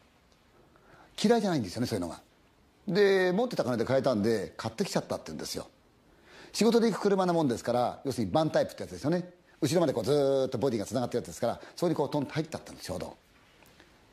家持って帰って例えば一人者なんでお母さんと暮らしてらっしゃるんですがお母さんが「あらお帰り」見た瞬間に「何それ?」「いやいいもの見つけちゃったよ。いや新潟の帰りさたまたまなんだけどあったこれいいだろう袋」って瞬間にお母さんが「うーやめてよ。ダメあんたこれ返してちょうだいよねあのあげてもいいし捨ててもいいからお願いだから捨てるわけないだろこれ。こんないいもん何がダメなんだよ。あんたとんでもないもの持ってきちゃったね。うち入れちゃダメだよそれ絶対に。入れちゃったってしょうがねえだろ。お願いだから捨ててくれそれ。ねあげてもいいからさ頼みそれやめ絶対やめてくれ。それもう本当にダメだから。一生懸命言うんでね何が気に入らないんだよ。気持ちでも悪いのかいって聞いたらあんた見えないんだろうね。その兜ねもう全体全部にね生首がぶら下がってるよって言ったと思うんですよ。要するに気持ち悪いこと言うね作りがたまたま黒い兜なんですよね。確かに不気味っちゃ不気味だけどその分だけこの迫力もあるわけですよ。雰囲気もある。そうかな？大体兜なんてものそんなもんついてんじゃないかって。いやいやそんなんじゃない。これはそんなんじゃないよって。私はっきり見えるんだ。たくさんの生首がねブラーッとぶら下がってる気持ち悪い頼むからもうこんなのずっと見てられないからって言ったんですが大丈夫だよそのうち慣れるよって。玄関に置きっぱなししちゃったと。ところがお母さんが突然倒れちゃったと。まあ、それは気のせいということもあるし妙に気になってそういうことになったのかもしれないけどやっぱり原因はというとこの鎧兜かなと思ったんですよね。思ってるうち自分が倒れちゃったんですよ。どうも具合が悪い。で病院行ってもさほどのはないんですがね過労でしょうかねぐらいしか言わなかった。具合悪いな参ったなと。やっぱりあれかこの鎧兜を戻し行った方がいいかなと思ってた。の時にまたまたその新潟の局から連絡が入ってちょっと来てくれないか。まあ、仕事なもんですから出かける時そうだじゃあこれ返し行こうと思ってね。ほんで車の一番後ろにこう積んだわけですよ。走り始める。これが不思議なんですよね。ちょうど一番後ろドーンと置いてあるもんだからまるで鎧兜を着た人間が座ってるように見えるわけだ。これはずーっと進んでた。車で行きますから結構時間かかりますよね。結構いい時間になっちゃった。彼普段とっても音が好きですからラジオを聴いたり曲聴いたりしていくんですけどもその時も暗い道うー走りながらラジオを聞いてた。初めは普通に流れたんですが途中から混戦してきちゃった。あれ？合わない。音が重なってる。しょうがねえなってうちに「ジェシーイージーってあれ合わないあれあれって言ってるうちに言葉が入ってきた。あ言葉が聞こえるなと思ってあれどのチャンネルなんだろう。それに合わせてみようかなと。ラジオは完全ダメなんですよね。でもなんか言葉が聞こえてる。まあいいかと。カチッと切っちゃった。切ったんですがラジオは止まったでもなんかざわざわしたものは残ってる。おかしいなおい。周りは全く真っ暗でもって人家もないんですよ。車が走ってる木何かが入る。ブツブツブツブツ言ってる。ええー、と思ってなんとなく。黙って聞いてるとどうも。後ろの方から聞こえてくる。後ろに車なんかありゃしないしね。へっとこうミラーで見た時にふっと気になったのが後ろの鎧ですよね。ちょうど誰かが座ってるのかと思ってこっちじーっとみたいな感じになってるわけだ。嫌だなやっぱりこうやって見てみると気持ち悪いもんだなと思ってふーっとやった時。おい待てよ。あの鎧兜が喋ってんじゃねえだろうなまさかなと思ってた。気になるからチラッチラ見ながら運転しててふっと思った。街中にが差し込んでくる。さあ私ねひょいっと見たらどうも置いた人と形が違うって言うんですよ。鎧兜の中からこう袖が伸びてるなんとなくこれにいろんなもんくっついてる。嘘だろうそんなことはないだろうとひょいってみた。違うの。鎧兜を着た武士が座ってるって言うんですよね。ええー、なんでこれ本当だと思ったんでわーっとアクセル吹かしちゃった。早く明るいとこ行こうと思ってゼーーッとしてドーッと辺り真っ暗ですよね。とポツンとね「惜しかったな」って聞こえたんですよ。確実に後ろから「惜しかったな」って聞こえたんですよ。うわっと思った瞬間車が走ってたんです目の前に車が現れたからうわっと思ってハンドルキャーッつったらギャーッと回ったと目の前崖だったって言うんですよね。うわーと思って嫌だ嫌だ嫌だこんなもん持ってくんじゃなかったと思って気を取り直してうーって戻ってしばらく休もうと思ってはあはあはあやってると後ろからね。死にゃあよかったのにって声がしたって言うんですよね。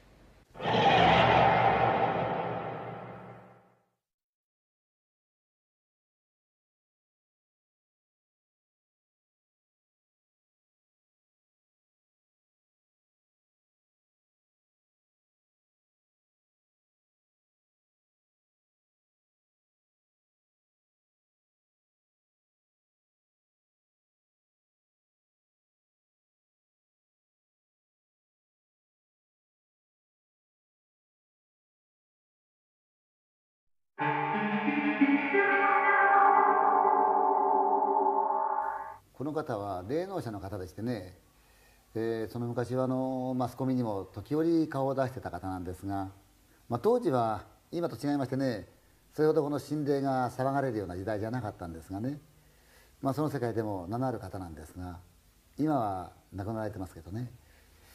あの体の決して丈夫な方じゃなかったんですがそんな時にねどうもこの調子が悪いっていうんで病院行きましたらこれはとてもじゃないけれどもあなたすぐに入院しなさいということ入院になったんですよ。入院はしたんですがそれがですねあまりこの思わしくなくてどうやら今日か明日かという命になっちゃった。で昏睡状態が始まったんですよね。さすがにこれには奥さんも驚いてもうずっと部屋につきっきりなんですよね。あまりこの他の人には言わなかったもんですから病室はって言うとあまりこの見舞い客も来なかった。でもどうやら1日持ち2日持ちしているんで奥さんもこれで言ったらもしかして治るんじゃないかな。うっすらとそういう希望をですね抱いちゃいたんですよね。夜になりましてね隣でもって奥さんが横になってる。さすがにもう日頃のね看病でもって疲れてますから寝込んでしまったんですね。と「うーんうんうーん」っていうんでふっと目が決めたらなんとうめきを上げながら顔が真っ青になって少し痙攣を起こしてる。いけないと思った。今までそういうことがなかったんでもしかするとこれ一番最後の要するにこの世から別れるその瞬間の喘ぎなのかなと思ったんですよ。これどうしようと思ってそばにあったタオルでもって汗を拭いたんですが汗はどんどんどんどん吹き出してきてうーんもう顔色がない。慌てて看護婦さんに連絡したわけですよね。声をかけるわけにもいかないからただ一瞬に「どうしようどうしよう助けてくださいお願いします」と思ってた。思いながら看護婦さん遅いなと思ってひょい入り口のドアのところを見るとドアは閉まってるんですがその上に天窓があるんですよね。高い位置ですが。その上がちょうどペロンとこう窓がね回転して開くんですがその隙間から面長の色の白い女の人がこっちをじーっと見てるんですよ。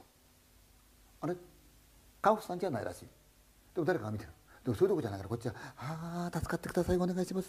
助かってくださいよお願いしますよ」汗拭いてる。相変わらず本人の方はっていうと「うーんうーん苦しそうにあえいでる何が苦しいのかは分からないけれど目も開けないまんま苦しんでるこれもうダメだ早く来てほしい早く来てくださいと思いながら一生懸命汗を拭いてまたひょいっと入り口のを見てみるとその天窓から色の白い細表の女性がじーっとこっちを心配そうに見てるんですよね。なぜかその瞬間ほっとしたような気がしたんですよ。ふとこの梅君がだんだんだんだん収まってきた。ああよかった収まるかもしれない。と思ってもう一回ひょいっと見るとその女性がスッと消えた。瞬間あれ？あの人誰なんだろう？考えてみたらそんな高いところ覗けるわけがないんであの人どこにと思いながらほんの瞬間のことですよ。慌てて入り口行ってドアをガシャッと開けて「いい」見た。廊下には誰もいなかったんですね。やがて足音がして看護師さんたちが飛んできた。ところが嘘のようにその瞬間顔色がどんどんどんどん戻ってきて元気になってきた。結果的になんと退院ができたんですよね。でもちろん普通の生活できるようになったんですよ。奥さんもえらく喜んでああよかった助かったと思ったんですが頭の隅にそうだ。あの天窓から覗いたあの女性あの人が覗いたあの時からだんだんと容体が良くなった。一体あの人なんだろうと思ってそのご本人に聞いたわけですよね。そうしましたらその彼が「いや待ってくれよ」「なるほどな。それはお前ね私の繊細だよ」というのはこの方は今ご一緒しているその奥さんっていう方は5歳なんですよね。それ前に繊細亡くされてるんですよね。紛れもなくそれは私の前の女房だよ。私のことを心配してきっと様子を見に来てくれたんだねって言ったってんですよね。言ってましたよその先生がね。私は幸せ者なんだと。今の家内にも大事にしてもらってる。そしてましてや死んだ家内にまで救われた男なんだからって言ってましたね。そんなこともあるんですね。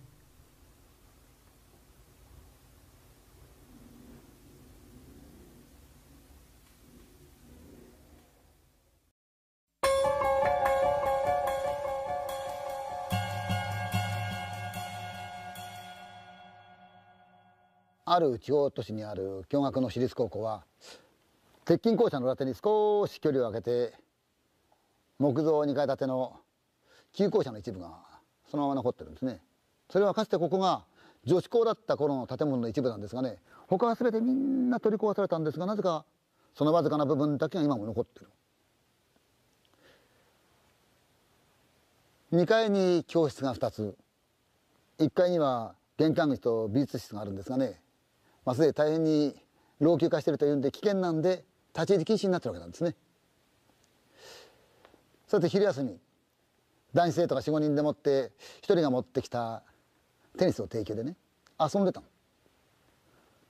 そうするうちに1人がその木造校舎の2階のガラスが1枚抜け落ちたその窓の穴に向かってこのボールふっと投げたことボールを持ってきた生徒が「おいよせよやめてくれよ」って言うとこれをみんな面白がって今度は次々にボールを手にするとそのガラスが1枚抜けたその穴にかって投げたそうするうちにボールがスポッとこれ入っちゃったでみんなが「ああシーラね。ああシーラね」ってはしゃいでるとチャイムが鳴ったんで。でみんな教室に戻ってったわけだ。さて放課後。仮にこのボールを持ってきた生徒を A 君としておきましょうかね。みんながすっかりボールのことを忘れて帰っちゃったんでしょうがない。自分一人で持ってボールを取り行くことになったわけですがね。校庭には部活の生徒の影もあるんですけどもこの校舎の裏手シーンと静まり返って誰もいない。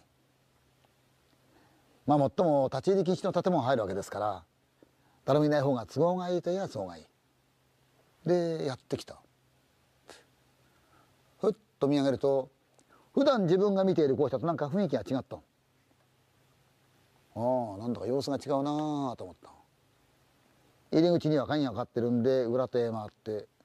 で窓を枠ごと外したわけだ。よー外した。で手かけてよくすとトン。で中に入った。見ると天井にも壁にも大きな雲の巣がさーっと下がってる。窓が開いたもんですからそこからわずかに風が引っ込んでゆらゆらとかすかにこれ揺れている。廊下も階段も厚い埃に覆われてるんですがね草跡も何も残っていない。どうやらもう長いこと誰もここに入った人はいないんでしょうね。歩くときちんと音がする。ギッイッイッで踏み抜かないように階段を上がってった。にとといんとととといとで2階に着くとここも同じように天井から壁のあたりいくつもの大きな蜘蛛の巣がふらっと下がってる廊下は厚い埃に覆われてるわけだ2つある教室の奥の方そちらにボールが入ったわけですからね歩いてった2ににで教室の前へやってきて。引き戸に手をかけた。でふっと引くとガラガラガラガラガラ。錆びついた音を立て戸が開いた。その時ふっとこの戸がこんな音を立てたくのは何年ぶりなんだろうなと思った。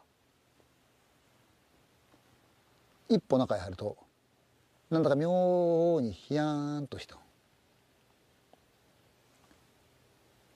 辺りをふーっと見ると厚い埃をかぶった机が整然と並んでる。どうやら当時のままらしい。かつてはここで女学生たちが授業を受けていたわけですよね。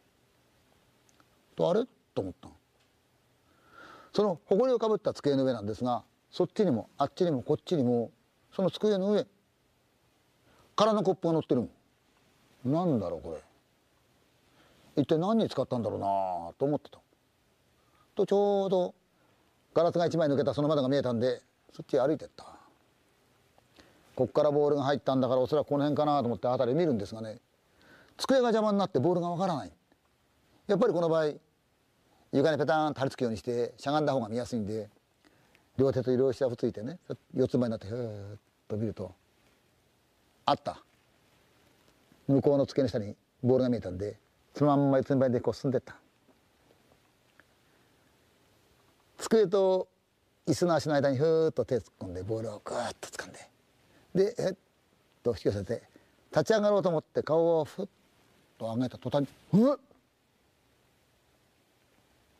今自分がボールを拾い上げたその机。その一つ向こう。その机の下から黒い折り目のついた制服のスカートと白い靴下を履いた足が見えてる。うん。途端にゾクーッとした。ありえない。立ち入り禁止の建物で自分が来た時は誰もいなかった。なのに席に誰かが座ってる。うわうわ鼻がブルブル震え出した。とても生きてる人間とは思えないあるはずがないんだ。でどうしようと思ってうっとめそうわと向こうの机の下にもあっちの机の下にも黒く折り目のついた制服のスカートに白い靴下を履いた足が見えてる。それはどうやら昔の女学生の制服らしいんですがうわー俺嫌なもの見てるなと思ってへっと言うと向こうにもいる。一人だけじゃない。いくつもいるんだ。うわ膝がガタガタガタガタガタガタ震えてる。腕がブルブル震えてる。うーどうしよう。どうやら自分は見ちゃいけないもん見てしまったらしいんで。あまりの怖さに一瞬目をつぶってみたんですがどうしようと思った声を上げて立ち上がって逃げたいんですがね立ち上がってしまったら何かとんでもなく恐ろしいものを見てしまうようなそんな気がして立ち上がれないで立ち上がったら自分が見つかってしまうからうわどうしようと思って目をつぶってるんですが目をつぶってその場にいたらいつになっても逃げられない。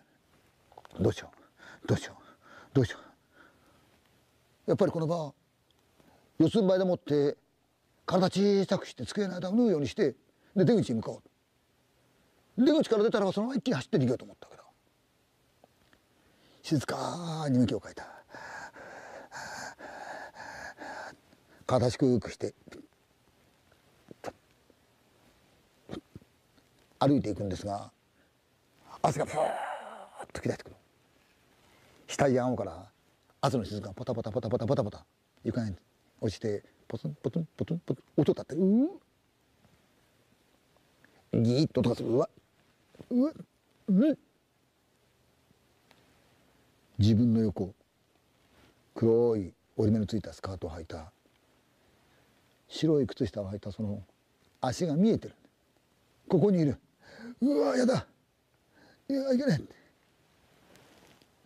息を殺して進んでいく。とそのうちにサワサワサワサワサワサワサワサワ音がするそれが次第に大きくなってきたザワザワザワザワザワザワザワザワザワザワなんだろうなんうんあなんか話してる上で連中がなんかおしゃべりしてるんだうわおしゃべりしてるいたうんうんお茶うんやう何か言ってる何を言ってるかわからない。でも何か言ってる。楽しそうに言ってる。うわかめす汗はポタポタポタポタ垂れてくる。床がポタポタポタポタ雫で濡れていく。机があってそこをぐっと曲がった。もう向こうが出口でザバザバザバザバザバザバえって言ってはいえってはいはい。ああえって聞こえてる。えもう少し。もう少し。出口へ来た。ああもう出口だ。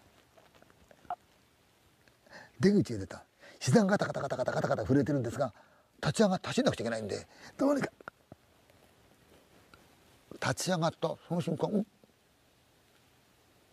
音が止んだ。ピタッと止んでシーンとしてんでえ一瞬ふっと後ろを振り向くとそこはさっきと全く変わらない。厚い埃をかぶったつけがただ整然と並んでるだけだった。A 君も夢中でもってかけて逃げてった。さてこの教室なんですがねかつてここが女子校だった頃に修学旅行でクラスごとにバスでもって移動してたんですね。そんな時にあるクラスを乗せたその観光バスなんですが前方からセンターラインをオーバーして大型のトラックが暴走してきたとそれをかわそうとした瞬間ハンドルを誤ってバスが崖下へ転落していったんですね。そして何人もの犠牲者が出たんです。女学生たちは座席にかけていましたからね。上半身は押しつぶされたんですが足はほとんど無傷だったそうですよ。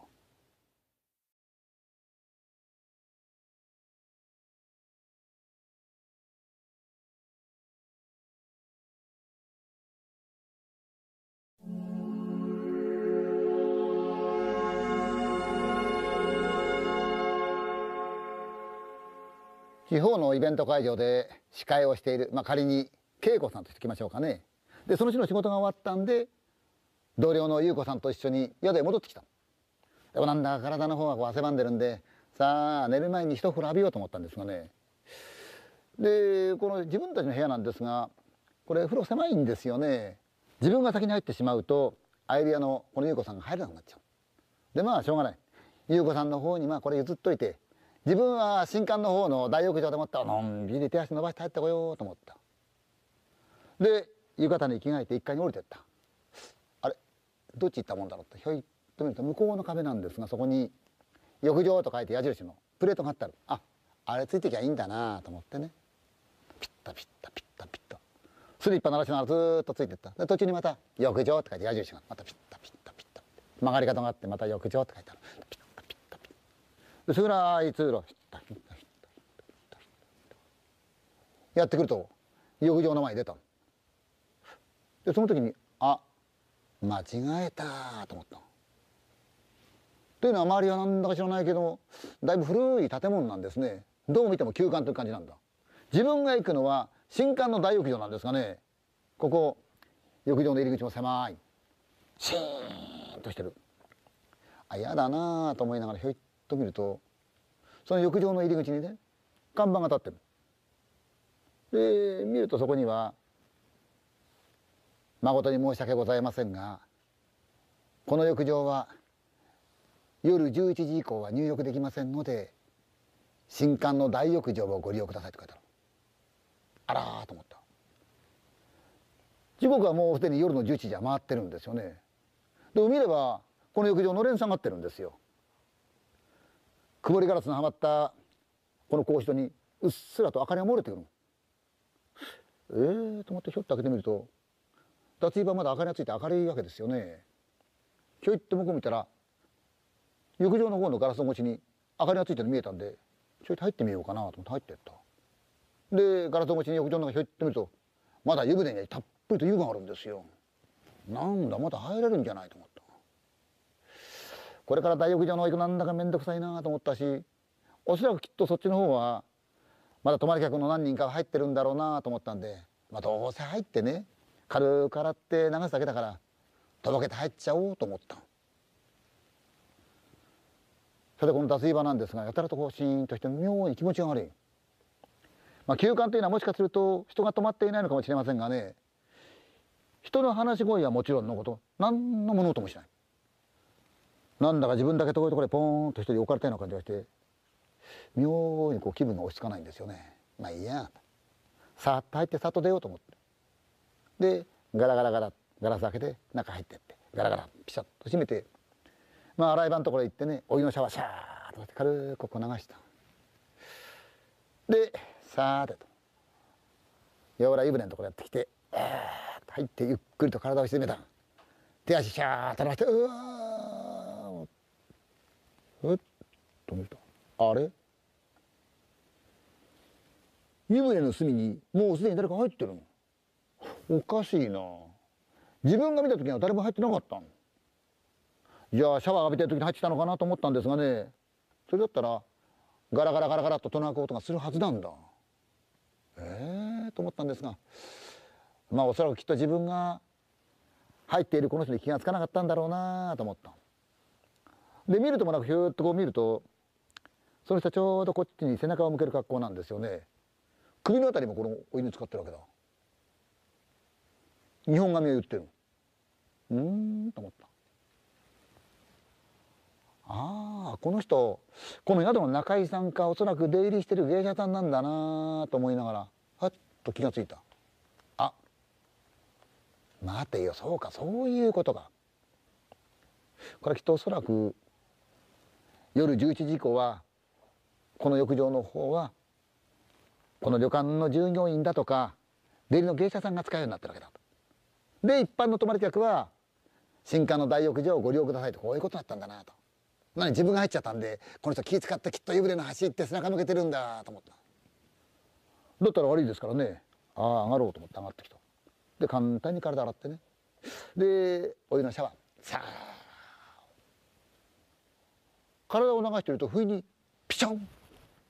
背中触られたんでドキッとしてうわなんだと思ってひ顔を上げると目の前に鏡があるわけだ。とその鏡に湯船の中から異様に白い女の顔がじーっとこっち見てる。んだあれと。今この浴場にいるのは自分とこの女しかいないわけだ。ということは自分の背中をピシャンと叩いたのはこの女に違いないわけだ。なんだろうどういうことなんだろうもしかするとこの浴場この洗い場というのはあの女がいつも気に入っていて使ってる場所なのかもしれないと。だからどう言ってくれって意味なのかなと。なんだろう。何でしょうか。聞いてみようと思ったんですがねそういう雰囲気じゃない。女は異様に白い顔で全く無表情。で湯船の中からじーっと自分の背中を見てるんですよね。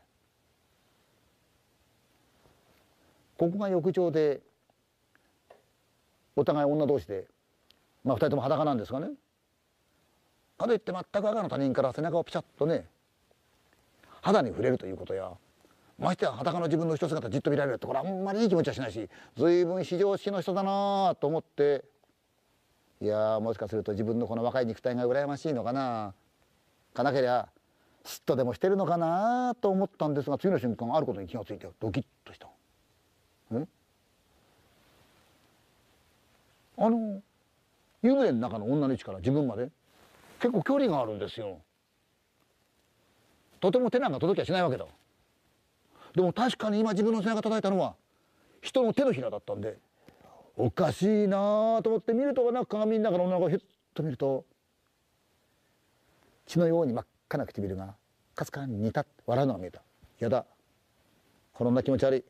嫌だなと思ったもんだから見るとなくスーッと様子を伺ってるとまるでそのお湯の上をねスーッと滑ってくるように女の真っ白い顔がスーッと自分の真後ろに近づいてくるわけだ。いやいやいやなんだこっち来るんだろ。う嫌だな嫌だな。気持ち悪いな。嫌だな嫌だな。と思ってるうちに体動かなくなってきた。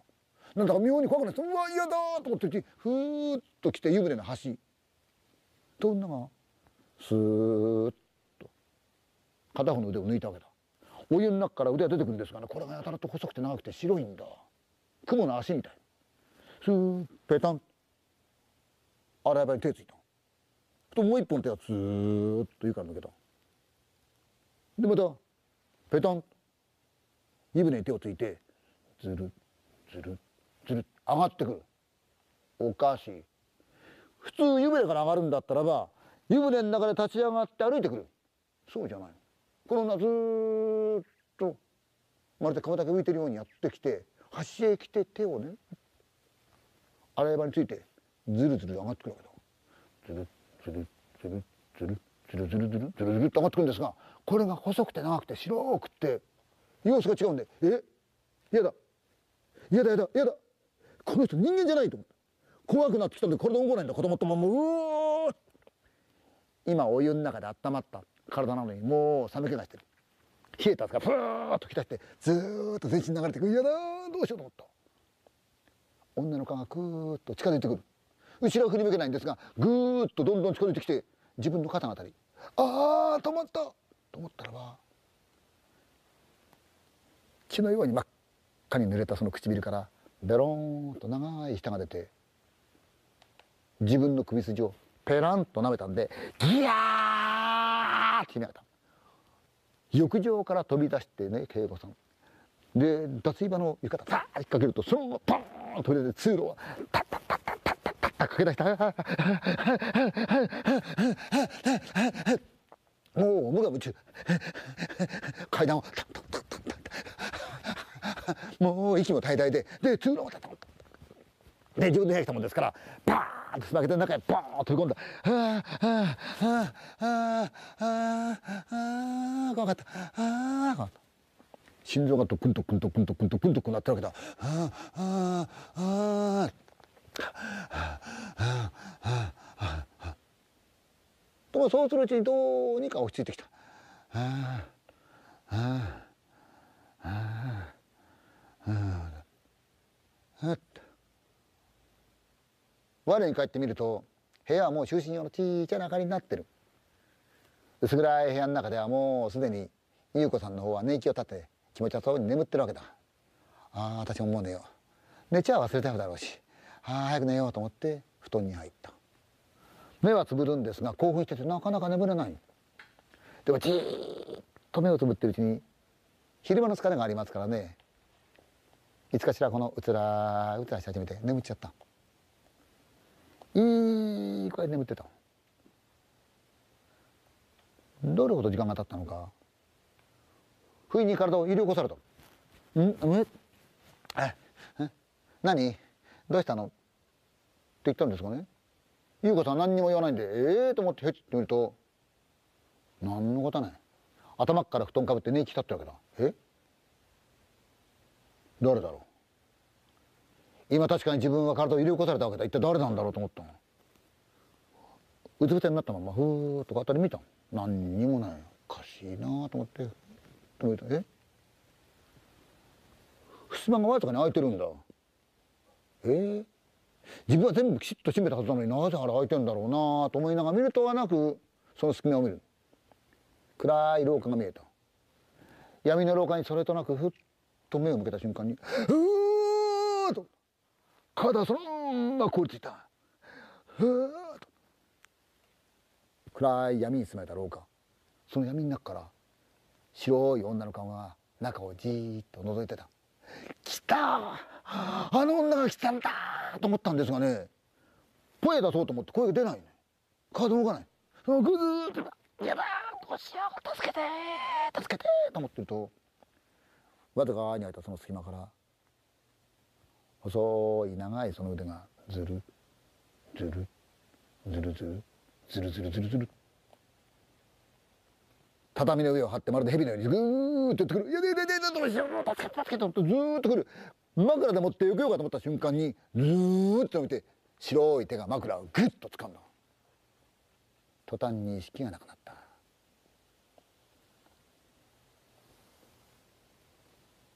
翌朝目が覚めてねはあ一体あれ何だったんだろうと思った。まあ大体イベントの会場でもって司会をするような女性ですからそこそこ気は決して弱いわけではなくてまあ好奇心もあったんでしょう。調べてやろうと思ったけど。もう朝で明るいわけですからね人もいる。で一回降りてった。見ると向こうに確かに浴場と書いて矢印がある。あああれだな。で行ってみた。途中にもある。浴場と書いて矢印。その通りだ。曲がり方があってそうそうこう曲がっていったな。暗い通路があるなと思ってあった。昨日の浴場があった。ああ出た。ここだなと思ってふっと見て気がついた。昨日休館だと思ったこの建物なんですがこれ古い離れなんですよね。ああ通りで静かなわけだなと思った。浴場の入り口はのれんは下がってないんだ。曇りガラスのはまった格子戸はあるんですがこれもかなり古い。明かりはもちろん漏れてない。で入り口のところにこう看板がある。見るとあなたまたすっとこう見ると誠に申し訳ございませんがこの浴場は使用禁止になっておりますので新館の大浴場をご利用くださいうん？確か昨日の夜来た時には11時以降は入浴がって書いてあったそうじゃない。使用禁止だったんだ。え？っ一体なんで使用禁止なんだろうなと思ったんですがねさすがにそれは聞けなかったそうですよ昔から古い宿には妖怪がいるって話がありますがねどうやらそれはねまんざら嘘ではないのかもしれないですね。